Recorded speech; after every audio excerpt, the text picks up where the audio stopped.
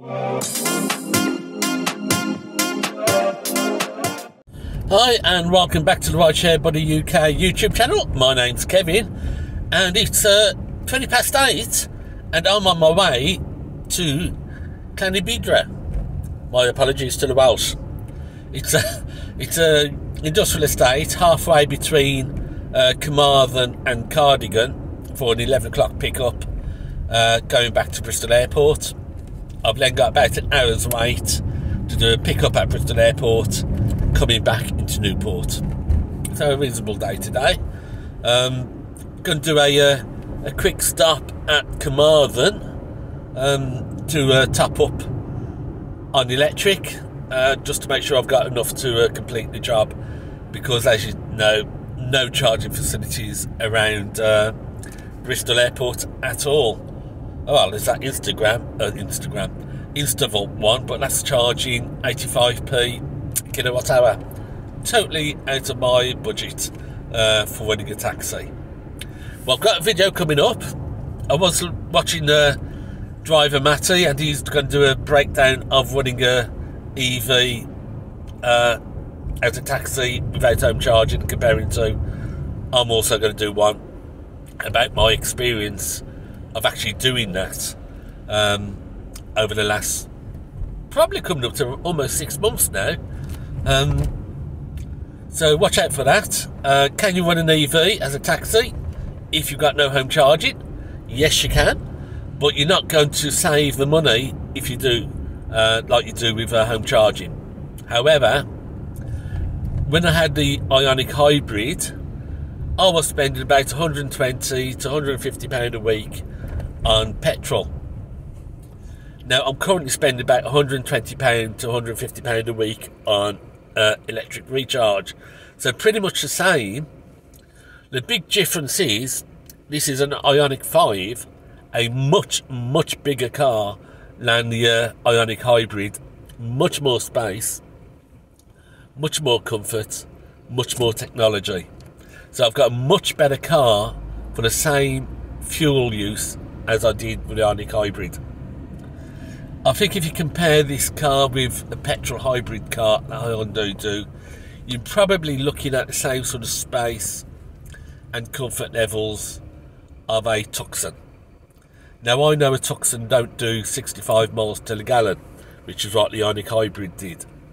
So if I compare like to like the Tucson to the Ioniq 5, I'm probably saving a little bit of money on fuel, but not a lot. Um, but I'm not losing, and that's the main thing, provided I use um, Tesla or Ionity. But that's for a future video. I'll break it all down and you can see the figures then. But for this one, the main one I'm going to do today is I've got a new camera, a new handheld camera. Uh, it's got a clip on and also so I can just clip it on and stuff. So I'm going to use the opportunity of testing this out by doing a walkthrough uh, once I get to Carmarthen and parked up for charging. I'll do a walkthrough of all the, uh, the little extras and little goodies I bought for the car.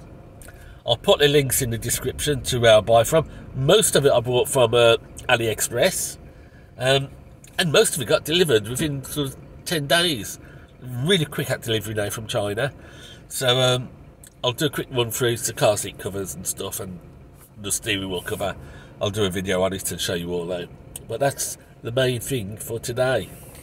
The other thing I want to do today is just do a quick run through of basic comparison of mileage rates that I've been paid to drivers from different companies so you can compare and see just how bad Uber is.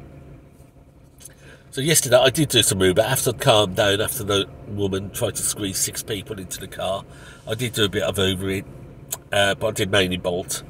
Um, so in total, if I divide what I made with the mileage, Uber was paying on average one pound eighteen pence per mile. pick up to drop. Bolt worked out pick up to drop worked out at £3.21 a mile. Big difference. Uh, £3.21 a mile. The main reason for that is um, Uber does not do comfort in Newport. The only time passengers get offered comfort level is Central Cardiff, whereas Bolt does do comfort level in Newport. About 50% of the work I did for Bolt was comfort. So that really pushed up the, the mileage rate and it averaged at £3.21 a mile. Damn sight better than £1.18 a mile from Uber. Now today both jobs are OTS. If I add up the mileage and divide by what I'm going to make, it works out at about £1.29 pence a mile after I've taken off the drop off fees at the airport and pick up fees at the airport. That's 129 mile. But, you know, this is long distance work and long distance work also always tends to pay a little bit lower than local work. So even long distance work with OTS pays substantially more than local work with Uber. Uber really is squeezing the passengers and this is why I don't do Uber basically.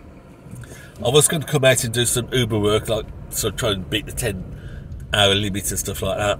And if, if I'm only going to be paid 118 an hour, I can't be asked. So I don't even come out to do uh, uh, YouTube videos anymore on Uber. It's just not worth coming out. Um, for instance, last week I'm going to be paid £20, well, £23 from Uber because I did one job. I dropped off at Cardiff Airport. There was a lot of people around. The plane had just come in. So I flicked on the app and I got pay a job from uh, Cardiff Airport to Central Cardiff for £20 plus the £3 uh, drop off car parking fee. So that's the only job I did last week, which I'm going to be paid for with Uber, uh, purely because there was a job there to be taken. The week before that, I got paid £42 from Uber, no, £48 from Uber, £42 for the job, £6 for the drop off. And I only had that one job to Bristol Airport because I was sat in the Celtic Manor Tesla station charging up. Um, and I flicked on the Uber app to take me out to Bristol Airport, put destination on for Bristol Airport. Uh, and I got a job from Celtic Manor to Bristol Airport perfect. I was still charging. I sent a message to the customer saying, I'm going to be 10 minutes just finishing off charging. Is that okay? If not, I'll cancel the job and you can uh, put it back out to bid for drivers. And said, no, 10 minutes fine, 15 minutes would be even better because he was still finishing his breakfast. So I went down, picked up Carlton Manic, took him to uh, Bristol Airport. But that was the only job I did that week, purely because it took me to where I wanted to go. Coming out to do Uber is not worth it, full stop, so I don't do it. Right, now, so while I don't come out to do Uber shifts, I do try and do at least two or three Uber jobs. Not Uber days or Uber shifts, but Uber jobs a week. Mainly to keep my account active so I can get a free BP subscription and a special Uber um, charge rates at BP, which is 49p kilowatt hour as opposed to 63p kilowatt hour uh, and BP is a useful backup to my main Tesla and Ionity charging locations. So, for instance, if I do get pushed and I do start to drop the charge at Cardiff Airport, we've got a 50 kilowatt charger at the Holiday Inn, and um, when I go to Birmingham Airport, we've got a big super station, super hub, charger hub up at the NEC. So it's really useful to be able to get that 49p kilowatt hour charging session. Um, more expensive than Ionity, more expensive than Tesla, but a whole lot cheaper than everywhere else. So they also PB also has some useful uh, uh, chargers, 50 kilowatt chargers out on the west coast of Wales at various hotels. Um, so it does prove useful, BP does, for emergencies. Fortunately, I don't have to rely on them too much. I can normally uh, get my uh, charging sorted at the two, Ionity and Tesla. But uh, having that uh, free membership is very useful and it's worth doing two or three jobs a week for Uber just to make sure I've got that uh, in the bank ready to go. Well, I gave myself three hours to get to Llanbedra, um, thinking that would be enough and allow me an hour for charging session at Carmarthen. But I totally forgot about the gridlock school one hours in Newport. Anything between 8 o'clock and 9 o'clock in the morning, and Newport is basically at a standstill. So, looking at Uber, sorry, looking at uh, Google Maps, I've now only got 30 minutes spare. It's taken me nearly 30 minutes to cover two miles in Newport. This is why I don't come out during the morning rush hour. Um, you, you're just sitting around going nowhere, wasting money. And at £1.18 with Uber, you're much better off staying in bed. Right, we've just uh, plugged in and charging up so I can test out this new camera on video and also on the sound quality. So let's have a look at some of the extras that I've bought for the car. So starting on the outside, we bought these fancy wing mirror um, eyebrows or shields, which helps to protect this against the rain. And it's got the nice Ioniq uh, logo on the uh, on the top. So let's have a look inside. First one is a steering wheel cover. So I've put on a nice steering wheel cover. Came from uh, AliExpress, very quick delivery, about uh, about less than ten days, I think it was. It was uh, pretty good. So let's put uh, on some lights. Okay, so that's the steering wheel cover. We've done the seat covers. Now these are really good quality seat covers. I really like these. Um, then full of a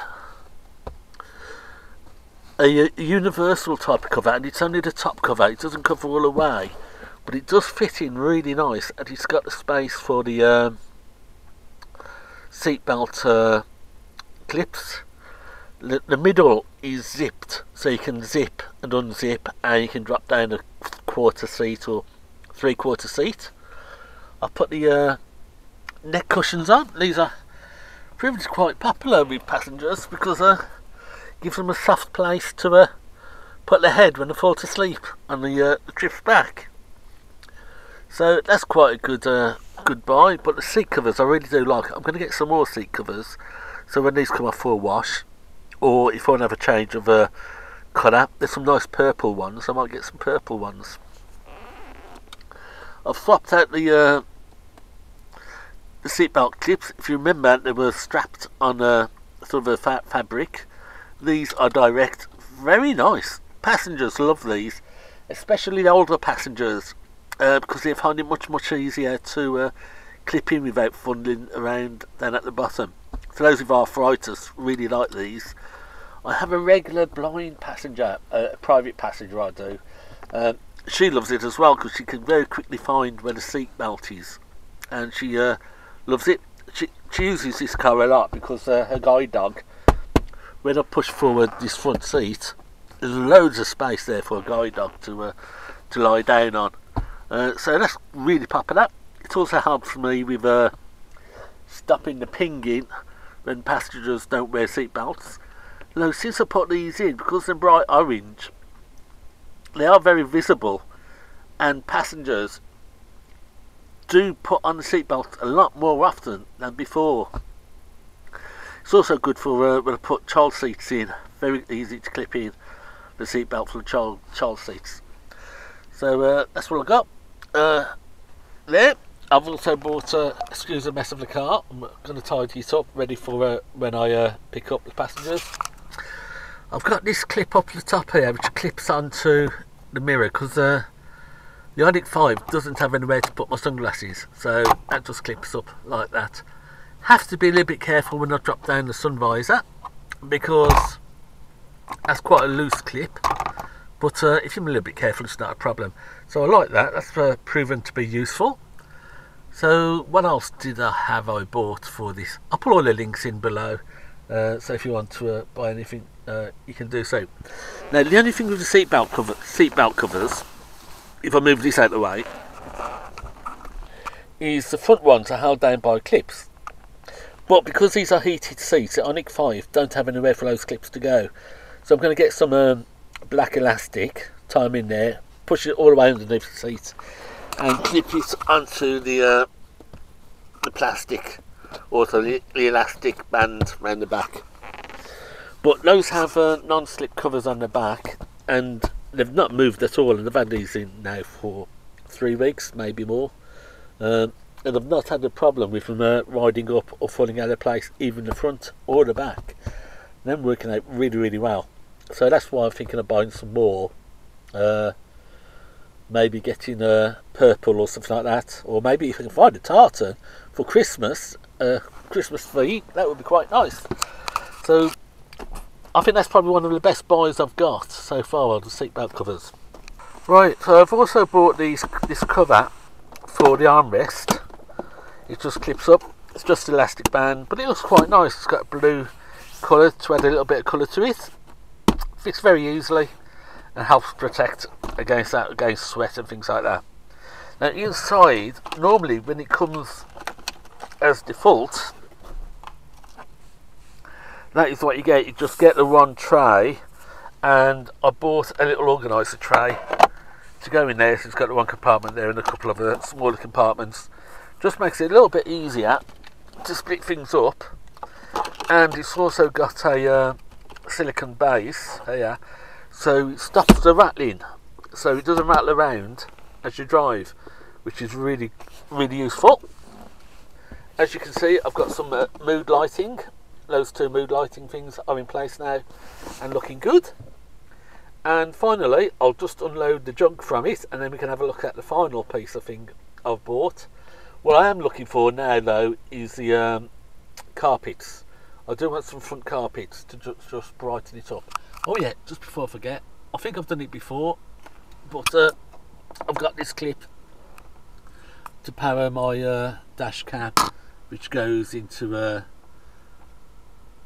get the power from the uh, automatic dimming uh, dimming mirror. So that's the power source. So I don't have wires hanging all over the place. But let's just unload this final bit and then I can show you the last thing I've done. Right, so here you go. Excuse the mess that is how it comes normally by default. You've just got one uh, one section, but I bought a separate organiser, which just very nicely slips into there. There's a pen holder, an extra couple of cup holders there, a, uh, a, a another organiser section there, and a coin one just down there, so you can put some coins in there. So that really helps to organise the, uh, the setup uh, and just adds a little bit of a quality to it really. What I might look at doing is getting rid of these two mood lighters and you can get some rechargeable mood lighters mood lighters that fits in the cup holders. So I might get four, one at two for here and one for each of the back doors just to add the blue mood light uh, and just brighten things up. Right, so those are the list of extras and additions I've bought for the car so far. I've got a few more I want to do, uh, just to add a little bit of comfort. The carpets are the main one though. Uh, black carpets don't really offset the car very nicely, so I might try and find some blue or some light grey with blue trim or something like that, just to uh, brighten things up inside the car. But I've had a few uh, things I bought, really nice. I'll put all the links in below if you want to uh, look at it. This is the Ioniq 5 most of them are made for the Ioniq 5, some are sort of more universal. But uh, that's given me a good chance to uh, test out this new handheld camera, or this micro camera, uh, to see what the quality is like. So that's it. Thanks for watching. Uh, that's it for today. Until next time, take care, make a profit, and uh, watch that mileage rate that people are paying you. Make sure you're earning money from when you drive.